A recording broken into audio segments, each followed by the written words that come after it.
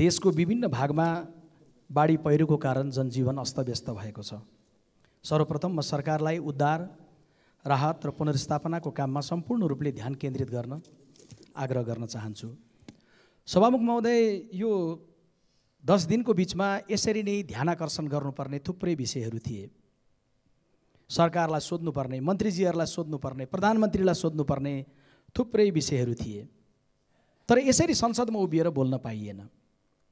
आज सभामुख महोदय समक्ष पनि माननीय सदस्यज्यूहरू समक्ष पनि मिडिया मार्फत संसारभरिबाट हेरिरहनुभएका सबैलाई नियमापत्ति भन्ने शब्द र आपत्ति भन्ने शब्दको व्याख्यालाई गहिरोसँग बुझिदिनलाई म अपिल र आग्रह गर्न चाहन्छु। सभामुख महोदय मैले अहिले बोल्दै गर्दाखेरि भूकम्प गयो भने भाग्नका लागि नियमको यो पुस्तक पल्टाइरहनु पर्दैन। जहाँबाट सजिलो हुन्छ त्यतैबाट हामी सुरक्षित हुनतर्फ लाग्छौँ। आपत्ति पऱ्यो भने। बोल्दै गर्दाखेरि आगलागी भयो भने पनि भाग्नका लागि सुरक्षित हुनका लागि कुनै दफा पल्टाइरहनु पर्दैन नियमावली खोजी खोजिरहनु पर्दैन। तर यो जनताको आस्था भएको संसद हो। यहाँ हामी जति पनि निर्वाचित भएर आएका छौँ प्रत्येकले आफ्नो प्रश्न गर्न पाउने अधिकार सुरक्षित हुनुपर्छ भन्ने मान्यता राख्दै गर्दाखेरि आपत्ति र नियमापत्तिको बिचमा फरक हुनुपर्छ। र नियमापत्ति गरेर यो सदन अब चल्दैन भनेर भन्दै गर्दाखेरि निश्चित धारामा टेकेर उभिनुपर्छ भन्ने कुराको अपिल र म आग्रह गर्न चाहन्छु। रत्न पार्कमा रहेको आवाज मिडियाहरूमा लेखिएको आवाज सडकमा हिँड्दै गरेको युवकले सोचिरहेको आवाजलाई प्रतिनिधित्व गर्ने थलो हो यो प्रतिनिधि सभा। त्यसैले यसलाई ती सबै आवाजको प्रतिनिधित्व गर्ने भएका कारणले यसलाई प्रतिनिधि सभा भन्ने नामाकरण गरिएको हो। तर ती आवाजहरू यहाँ राख्न पाइएन। संसद चलेको हुँदो हो त सम्माननीय सभामुख महोदयकै क्षेत्रमा चिया श्रमिकहरूले काँकरबिटामा पनि बिर्ता मोडमा पनि प्रदर्शन गर्दै गर्दाखेरि सोधिरहेको प्रश्न राख्ने मलाई यहाँ मन थियो कि श्रम मन्त्रीज्यू न्यूनतम ज्याला साउन दुई गतेदेखि बढ्नुपर्ने थियो अहिले किन बढेको छैन? सोध्न मन थियो कृषि मन्त्रीलाई लम्पी स्किनका सङ्क्रमण रोक्नका लागि के कस्तो प्रयासहरू भइरहेका छन्? सोध्न मन थियो स्वास्थ्य मन्त्रीलाई कि आँखा पाक्ने रोग तीव्र ढङ्गले फैलिएको छ र डेङ्गुका कारण सयौँ सङ्क्रमित भएका छन्? स्वास्थ्य मन्त्रीजी राज्यको गम्भीरतापूर्वक कार्य भइरहेको छ कि छैन? तामाङ समुदायले प्रदर्शन गर्दै गर्दाखेरि नहुनुपर्ने हस्तक्षेप किन भयो? माननीय गृहमन्त्रीजी उहाँलाई सोध्नु थियो त्यो सोध्न पाइएन। स्वयं प्रधानमन्त्रीलाई पनि सोध्नु थियो सभामुख महोदय कि भगवान् गौतम बुद्धको पवित्र थलोमा एउटा विवादास्पद व्यक्तिको नियुक्ति किन गरियो? तर त्यो पनि सोध्न पाइएन। आज संसद खुलेको छ एक आपसमा बधाई साटासाट गर्नुपर्ने अवस्था छ। सभामुख महोदय जे विषयमा अहिले सदन अवरुद्ध गरिएको छ त्यो विषयमा म जान चाहन्छु। निश्चय नै त्रिभुवन अन्तर्राष्ट्रिय विमानस्थलबाट त्यसरी सुन तस्करीको प्रक्रियाबाट प्रवेश गर्ने कुरा गम्भीर छ। एयरपोर्टबाट छिर्दै गर्दा कसको गल्ती हो? कसको कमजोरी हो? बेहिचक भन्नुपर्छ सरकारको कमजोरी हो। तर एयरपोर्टबाट आएर सिनामङ्गलको चोकमा पक्रिँदै गर्दा कसले पक्रिएको हो? सरकारको एउटा हातले कमजोरी गर्यो एयरपोर्टमा तर सरकारको अर्को हातले फेरि पक्रियो सिनामङ्गलको चोकमा। यो पनि हामीले बिर्सिनु छानबिन आयोगको विषयमा प्रतिपक्षले उठाएको विषय संवादमै छौँ हामी। एउटा निष्कर्षमा पुगौँला तर म सम्झिन चाहन्छु। सुन सय किलो सुन त भेटियो तेत्तिस किलो सुनको छानबिन आयोग त छोड्नुहोस्। सुनको एउटा तोलासम्म नभेटिकन तेत्तिस किलोको सुनको कथा फाइल बन्द भएको छ। राजनीतिक प्रकृतिका केही घटनाहरू भयो भने राजनीतिक मानिसहरू राखौँ सम्मानित कोही न्यायमूर्ति राखौँ अनुसन्धान गरौँ निष्कर्षमा पुगौँ। तर हामीलाई को प्रति अविश्वास हामी आफैप्रति अविश्वास गरिरहेका छौँ।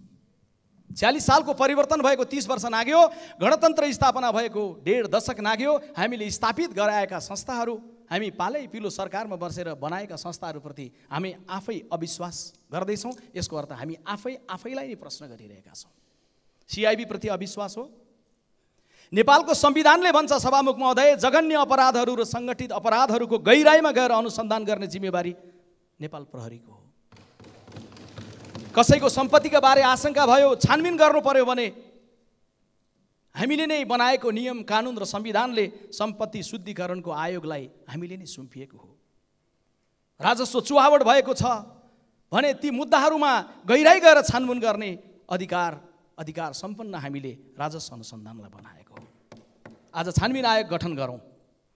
म छानबिन आयोग गठन गर्नुपर्छ भनेर म माग गर्न चाहन्छु व्यक्तिगत रूपमा विश्वप्रकाश शर्मा मात्र होइन म नेपाली काङ्ग्रेस पार्टीको तर्फबाट पनि माग गर्न चाहन्छु। त्यो माग बनेको के हो भने कानुन र संविधानले बलियो बनाएका यी संस्थाहरूप्रति हामी विश्वास किन गर्न सकिरहेका छैनौँ? छानबिन यसमा गरौँ।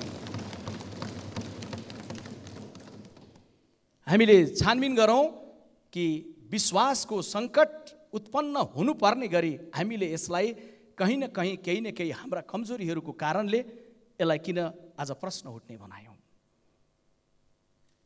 सम्माननीय सभामुख महोदय हामी कस्तो राज्य प्रणालीको परिकल्पना गर्दछौँ? राजनीतिक दलहरूको बिचको सहमतिको बिचबाट बनेका आयोगहरू नै सबै विषयको अनुसन्धान गर्नका लागि सक्षम छन्? या हामीले अध्ययन गरेका अनुसन्धान गरेका अपराध अनुसन्धानको गहिराइमा पुगेर अनुसन्धान गरेर सक्षम भएर दक्षिण एसियामै प्रसिद्धि हासिल गरिसकेको नेपाल प्रहरीलाई विश्वास गर्ने सिआइबीलाई विश्वास गर्ने हामीले स्थापित गरेका संस्थाहरूलाई विश्वास गर्ने भन्ने समाज बनाउन चाहन्छौँ। हामी कस्तो लोकतन्त्र बनाउन चाहन्छौँ?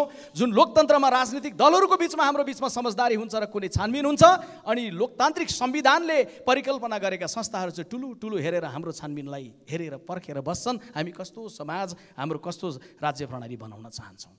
सामान्य सभामुख महोदय फाइल पल्टाएर खोल्नै पर्ने हो भने थुप्रै विषयवस्तुहरू छन्। सुन प्रकरणको सन्दर्भमा गहिराइमा छानबिन हुनुपर्छ। माननीय गृहमन्त्रीजीले यहाँ उभिएर जवाब दिनुपर्छ भनेर भन्ने कुराको लागि पनि संसदको प्राङ्गणमा उभिएर बोल्नु पर्यो। भनियो संसद भनेको प्रतिपक्षको हो। निश्चय नै प्रतिपक्षको आवाजलाई सुन्नुपर्छ प्रतिपक्षको आवाजलाई कदर गर्नुपर्छ प्रतिपक्षले उठाएका प्रश्नहरूलाई राज्यले गम्भीरतापूर्वक लिनुपर्छ। अनि हामी निर्वाचित भएर यहाँ आउँदै गर्दाखेरि संयोगले या जुन कोडबाट होस् हामी प्र सत्तापक्ष बन्यौँ त हामी सत्तापक्षका सांसदले बोल्ने थलो चाहिँ रत्न पार्क हो। त्यसैले यो बेलामा मैले आग्रह गर्न चाहन्छु कि आज सदन खुलेको हो भने कति दिनको लागि खुलेको हो? यसबारेमा कसलाई सोध्नुपर्ने हो? एउटा घटना आउँछ उभिदियो प्रश्न गरिदियो घेरिदियो सदन अवरुद्ध गरिदियो। के हरेक समस्याको हल सदन अवरुद्ध गरेर हुन्छ? सन्ताउन्न अन्ठाउन्न सालदेखि पटक पटक हेरिसक्यौँ। आदरणीय साथीहरू संसदीय व्यवस्थामा हामी विश्वास गरेका छौँ। विश्वासकै कारण विश्वास गरेका छौँ भने बाध्यताको कारण होइन विश्वासको कारण यो थलोमा छौँ भने हामी हरेक प्रश्नको निदान बहस र संवादबाट गरौँ। विधि विधान संविधान नियमावलीको जगमा बसेर गरौँ। सदनलाई अवरुद्ध नगर्ने सङ्कल्प गरेर गरौँ। आजभन्दा तिस वर्ष दुई महिना तेइस दिन अगाडि यो देशमा एउटा गम्भीर दुर्घटना भयो। आज यहाँ कोही उभिएर बोलिरहेको छैन। तिस वर्ष दुई महिना तेइस दिन अगाडि गम्भीर दुर्घटना भयो। यो देशको एउटा सुप्रसिद्ध राजनीतिज्ञ जसलाई म श्रद्धापूर्वक नाम लिन्छु मदन भण्डारीको निधन भयो। बाहिर बोल्दै गर्दाखेरि मित्रहरूले उठाइरहनुहुन्छ। उच्च स्तरीय आयोग बनाउने भन्दै गर्दाखेरि ती फाइलहरू पल्टाउँ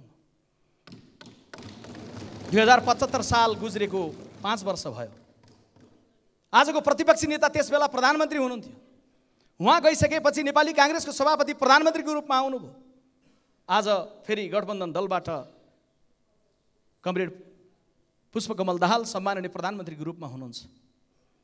आयोग बनाउने नै हो भने कञ्चनपुरकी निर्मला पन्तको बलात्कारपछि हत्या भएको विषय अहिलेसम्म अनुसन्धान गरेर पत्ता लाग्न सकेन। यसमा बनाऊ तर अनुसन्धान गर्ने निकायले विषय प्रवेश गर्दा गर्दै विषय प्रवेश गरेर अधुरो भएका कैयौँ विषयहरू लामो हुन्छ म समय लिन चाहन्न।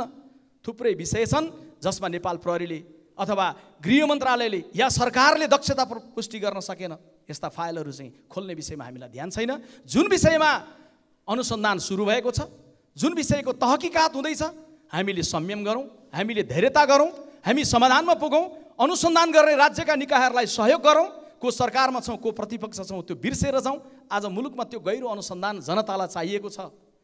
जनतालाई सदन अवरुद्ध भएको बन्द भएको होइन खुला भएको त्यहाँ बहस भएको चिन्तन भएको आस्थाको थलोको रूपमा विकसित भएको अनि राज्यका निकायहरूले गहिराइमा गएर अनुसन्धान गरेर तथ्यलाई सार्वजनिक रहेको चित्र चाहिएको छ। सभामुख महोदय आज त्यो विषयलाई अवरुद्ध गरी राखेर हामी समाधान बाहिरै खोज्न खोजिरहेका छौँ। विषयलाई केन्द्रमा लिएर आउँ। विषयलाई वस्तुगत भएर हेरौँ। आवेगका साथ नहेरौँ। एउटाले अर्कोलाई आरोपित गरेर नहेरौँ। नेपाल देशको प्रतिष्ठामा असर गरेको छ गृहमन्त्रीज्यू नेपाल देशको प्रतिष्ठामा प्रश्न उब्जिएको छ गृहमन्त्रीज्यू कि एयरपोर्टबाट हाकाहाकी सुन यसरी प्रवेश किन भइरहेको छ? यो बारेमा अनुसन्धान गर्ने निकायलाई बलियो बनाउने सन्दर्भमा सिङ्गो संसदको ध्यान पुगोस्। यो विषयमा सत्ता र प्रतिपक्षको मनोविज्ञानभन्दा फरक उठेर सोचौँ आवेगभन्दा माथि उठेर सोचौँ र हामी सुशासनको सन्दर्भमा प्रतिबद्ध भएर सोचौँ। म अपिल र आग्रह गर्न चाहन्छु। यही सरकार होइन। आज प्रश्न गर्दै गरेको मित्रहरूले प्रश्न गर्दै गर्दा यही सरकार होइन जसले ललिता निवासको प्रकरणको बन्द भएको फाइल खोलेको छ। यही सरकार होइन जसले नक्कली भुटानी शरणार्थीको प्रकरणमा गम्भीरतापूर्वक फाइल खोलेको छ। एकातर्फ सरकारले फाइल खोल्ने अनि फाइल खोल्दै गर्दाखेरि सहयोग गर्ने कुरामा भन्दा पनि आशंका छ भनेर भन्ने। अनि रोस्टम उभिएर दोषीलाई उम्काउन खोजिँदैछ निर्दोषलाई फसाउन खोजिँदैछ भन्ने अभिव्यक्ति दिने सम्माननीय सभामुख महोदय हामी आवेगबाट माथि उठौँ। हामी कुन राजनीतिक दलसँग आबद्ध को यसमा मुछिनु भएको छ कुन प्रकरणमा भन्ने कुरालाई बिर्सिएर जाउँ। अहिले भर्खरै मैले भन्दै गर्दाखेरि म आबद्ध रहेको मेरो दल नेपाली काङ्ग्रेस पार्टीले निर्णय गर्दै गर्दा केन्द्रीय समितिको बैठकबाट निर्णय गरेको छ कि भ्रष्टाचारको धर्म सम्प्रदाय जाति राजनीतिक दल केही पनि हुँदैन। निर्दोष फस्नुहुन्न दोषी उम्किनुहुन्न भनेर निर्णय गरेको छ।